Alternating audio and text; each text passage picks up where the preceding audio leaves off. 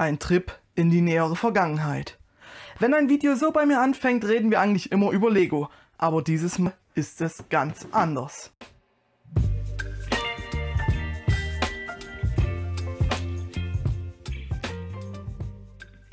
Und damit mal wieder Hallo und herzlich willkommen, ihr Freunde des gepflegten Klemmbau-Steinbaus. Ich habe mal wieder ein, meiner Meinung nach, sehr interessantes Set mitgebracht.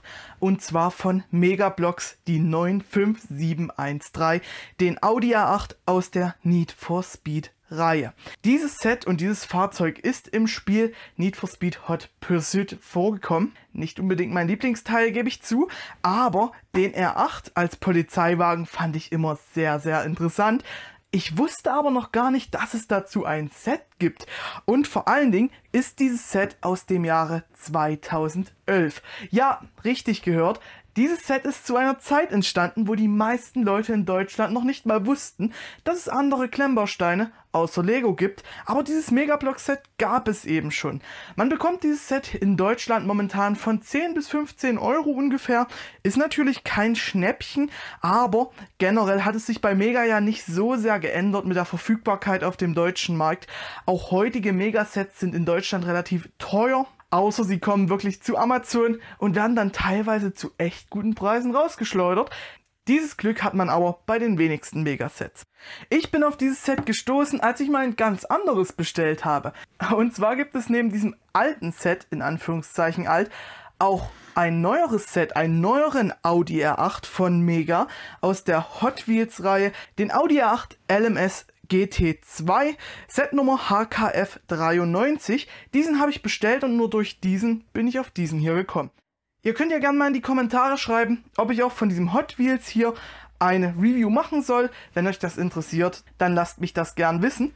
Heute schauen wir uns aber speziell dieses Need for Speed Set aus 2011 an. Auf den ersten Blick hat mich das Ganze ein wenig an Kirby erinnert.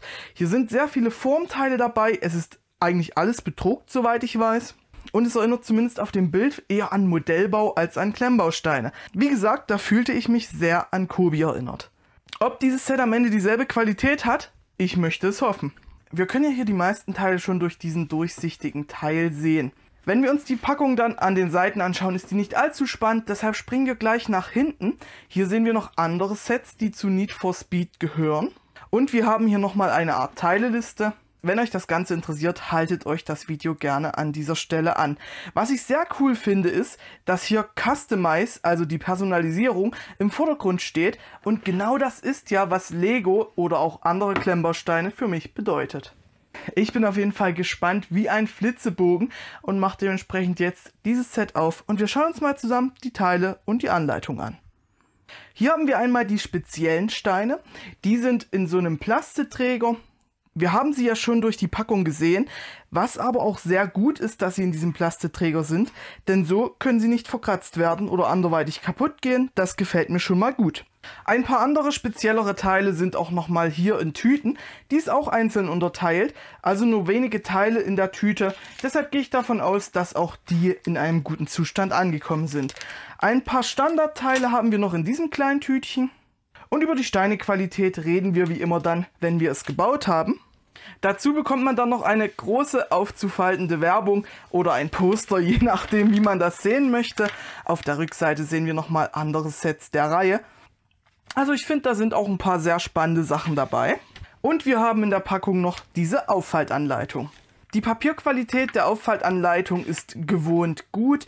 Und wie wir das von Mega auch heute gewohnt sind, wird hier viel über Farbkodierung in der Anleitung gemacht, wo die Steine hingesetzt werden. Es wird nichts ausgegraut, sondern es wird alles weiterhin in Vollfarbe dargestellt. Und insgesamt haben wir zwölf Bauschritte. Auch die Druckqualität gefällt mir bei dem Set sehr. Und man sieht nochmal beide Formen im Vergleich. Es ist natürlich eine simple Anleitung, aber für diese Setgröße völlig ausreichend. Es ist das gezeigt, was gezeigt werden muss und es sind auch die Bauschritte erklärt, zu denen nochmal eine Erklärung wichtig ist. Dementsprechend gehe ich davon aus, dass wir auch gut nach dieser Anleitung bauen können. Bei so einem kleinen Set sollte es da sicherlich keine Probleme geben. Ich fange jetzt auf jeden Fall an zu bauen und wir sehen uns dann gleich mit dem fertigen Fahrzeug wieder. Und so sehen wir uns auch schon nach einem natürlich sehr kurzen Bauspaß wieder.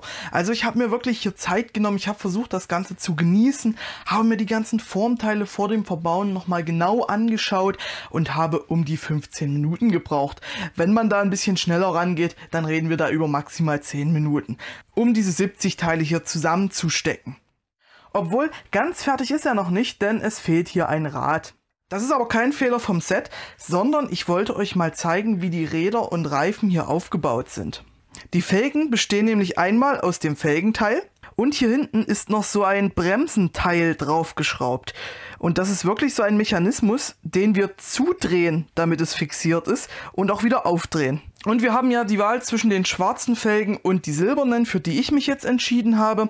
Also können wir auch auf die silbernen wieder dieses Bremsenteil draufdrehen und können dann den Reifen auf das Ganze ziehen. Und so ist er dann auch fertig. Warum ich damit gewartet habe, um euch das zu zeigen, hat den einfachen Grund, dass leider dieses Bremsenteil nur viermal dabei ist und auch die Reifen nur viermal dabei sind. Das heißt, wir müssen den gesamten Radsatz wieder demontieren, um diese neuen Felgen aufzumontieren. Das finde ich wirklich störend, weil wenn man natürlich die Reifen die ganze Zeit abziehen muss, ist das erstens kein großer Spaß, weil die relativ fest sitzen und ich habe auch Angst, dass wenn wir das andauernd abziehen, um einen anderen Felgensatz drauf zu machen, der Reifen dadurch irgendwann Schaden nimmt. Das hätte man besser lösen können, wenn man wirklich die paar Teile und die Reifen noch dazugelegt hätte und man die Radsätze nur aufstecken müsste und eben nicht immer auseinanderbauen muss. Was noch besonders ist an dem Fahrzeug, ist die Farbwahl der Steine. Denn wenn ihr mal hier genau hinschaut, ist das kein normales Schwarz. In diesem Schwarzton sind so ein paar Glitzerflakes oder wie man das nennen soll. Das soll eine Metallic-Lackierung darstellen. Und ich finde, das wirkt auf dem Fahrzeug auch richtig, richtig gut. Aber durch den Farbton ist auf jeden Fall ein Fingerabdrücke abwischen Pflicht, bevor man das Ganze ins Regal stellen kann. Und eine Art der Personalisierung haben wir noch. Wir können ja hier oben die Warnlichter abbauen und können das durch so eine normale weiße Plate hier abdecken. Das natürlich komplett festzudrücken wäre nicht die schlauste Idee, wenn man jeweils wieder die Signallichter drauf machen möchte. Denn man kommt hier ganz, ganz schlecht dran, um das wieder rauszubekommen. Auch hier hätte ich mir eine etwas andere Umsetzung gewünscht. Und einen letzten Kritikpunkt habe ich noch an dem Fahrzeug. Und zwar haben hier einige Teile sehr gelitten. Ich weiß nicht, ob das davon kommt, dass das Set so alt ist und dementsprechend schon viel bewegt wurde. Aber so stark mitgenommene Steine habe ich bei alten Lego-Sets auch sehr selten gesehen. Deshalb glaube ich, dass diese Steine in der Produktion schon den ein oder anderen Fehler hatten. Trotzdem haben sie sich sehr gut verbauen lassen. Die Klemmkraft ist sehr hoch und das Reindrücken ist nicht so gut wie bei Lego. Das muss man ganz klar sagen. Es erinnert mich so ein bisschen an die ersten Kobi-Steine, wie so vieles an diesem Set. Denn die Steine gehen sehr fest zusammen und halten dann auch bombig zusammen. Das kann aber beim Baugefühl ein wenig störend sein, weil es ein wenig störrisch wirkt. Bei so einem kleinen Set ist das kein Riesenproblem. Bei einem größeren Set kann ich mir vorstellen, dass das dann etwas nervig geworden wäre. Da hat Mega auf jeden Fall von 2011 bis jetzt nochmal einen großen Sprung gemacht. Die jetzigen Megasteine, die ich in der Hand hatte, haben sich da besser verbauen lassen. Ein großer Pluspunkt an dem Fahrzeug ist natürlich das Aussehen. Wenn man das am Ende so zusammengebaut hat und damit spielen würde, würde man erstmal gar nicht auf die Idee kommen, dass es sich hier um Klemmbausteine handelt. Das geht eher Richtung Modellbau, was auch eine Parallele zu den jetzigen Kobi-Modellen ist. Ich finde es vom Aussehen sehr gelungen und natürlich richtig cool, dass alles hier geprintet ist. An der einen oder anderen Stelle könnte die Druckqualität zwar noch ein wenig besser sein, aber trotzdem ist es schon bemerkenswert, dass Mega eben so lang schon alles hier geprintet hat und Lego sich bis vor einigen Jahren dort noch so schwer getan hat und Lego selbst heute noch bei merkwürdigen Stellen auf Sticker zurückgreift. Was dann eher negativ ins Auge sticht, ist, dass der Weißton von den Teilen und den anderen geprinteten Teilen, es ist nicht so extrem, dass es sofort ins Auge fällt, aber das meine ich eben damit, dass die Prints teilweise ein wenig hochwertiger geprintet sein könnten. Großer Vorteil von dem Fahrzeug hingegen ist aber auch, dass es super stabil ist. Damit kann man wirklich fahren, durch die Gegend flitzen, das auch mal runterwerfen und was weiß ich. Das Fahrzeug hält das alles aus. Und bis auf die Speed Champions ist das das Fahrzeug, was ich bisher auf dem Bautisch hatte, was am besten rollt. Das hat wirklich kaum Widerstand und gefällt mir dadurch auch sehr gut.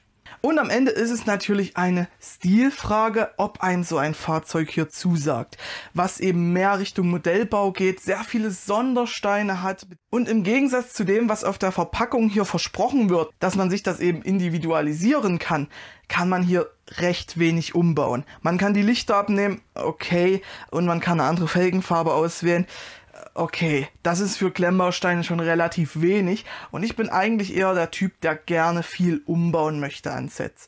Man weiß hier aber natürlich im Vorhinein, dass dieses Set so viele Formteile hat und damit nicht groß umgebaut werden kann. Wer ein Set haben möchte, was ein wenig Bauspaß hat und am Ende stabil genug ist, um es zu bespielen, ist hier auf jeden Fall trotzdem richtig.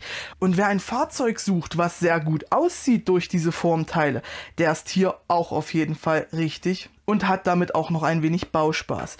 Wer natürlich ein Purist ist und sehr viel mit Standardteilen bauen möchte und nicht so viele Formteile mag, der sollte sich dieses Set nicht kaufen.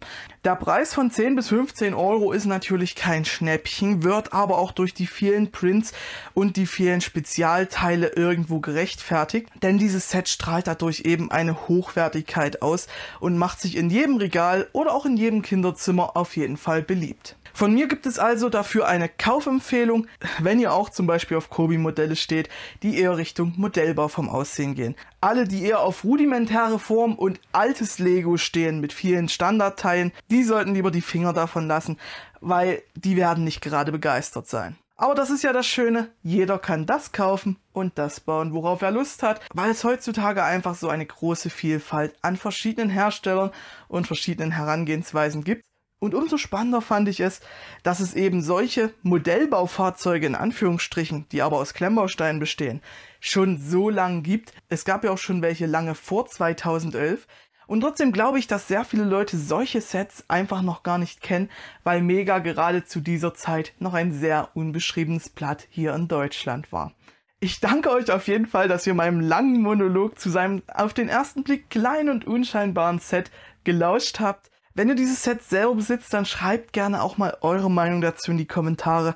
Es würde mich wie immer sehr interessieren. Und wenn euch dieses Video gefallen hat, lasst gerne einen Daumen nach oben und ein Abo da, um in Zukunft nichts mehr zu verpassen.